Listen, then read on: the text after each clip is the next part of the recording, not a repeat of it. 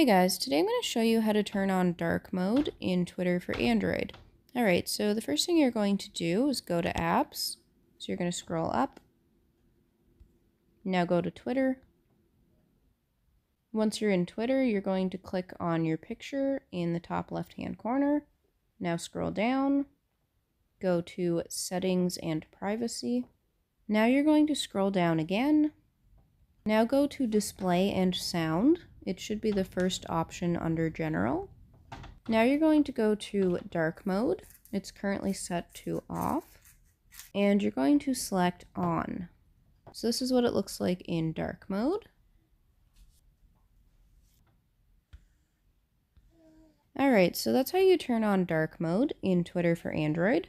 I hope you guys enjoyed this tutorial, and I'll see you in my next video.